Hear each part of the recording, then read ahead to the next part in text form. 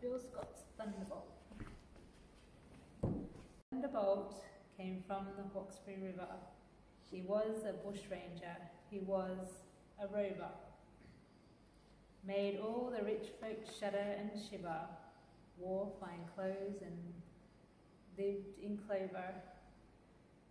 Riding high on a thoroughbred colt, bad man, bushranger, thunderbolt, Uralla, Armidale, Torrington as well, Yarrowyck mountain, where the farmers dwell. Saw him ride till a constable in blue caught him and sent him to Cockatoo. But he slipped from his cell and his iron chain and wandered free in the bush again. He wandered far and wandered wide. Nobody knows just where he died, but on Yarrowyck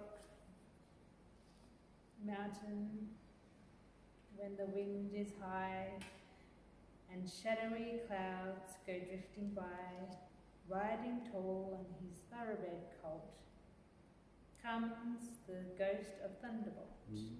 Comes the ghost of Thunderbolt.